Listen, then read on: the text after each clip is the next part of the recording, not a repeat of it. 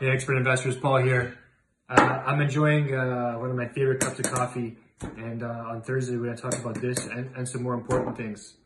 Uh, believe it or not, uh, right now we're putting extra efforts into uh, raising money for some of our larger investment deals and development deals. And you might think I'm crazy because people are going through a bit of a recession or losing their jobs, and you know the outlook is isn't pretty, but uh, I know that people with money who want to invest have nowhere else to invest. The stock market is volatile. Oil's at a, a penny yesterday.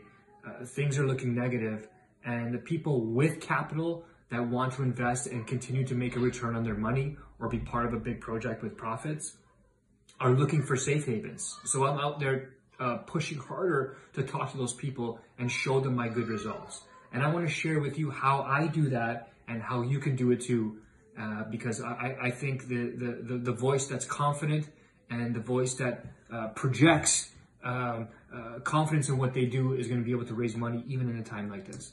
We're going to talk about uh, four recent deals I've done with investors on small little rental properties and how we negotiated um, killer discounts in the neighborhoods of 5 to 10% uh, on each property. And most importantly, I'm going to share with you my favorite uh, coffee recipe. It's a great recipe for when it's kind of chilly like this, like it's been for the spring so far, and it's great when you want to uh, save money and have a nice, tasty cup of coffee. So we'll see you Thursday at noon uh, for coffee and Q&A with Paul.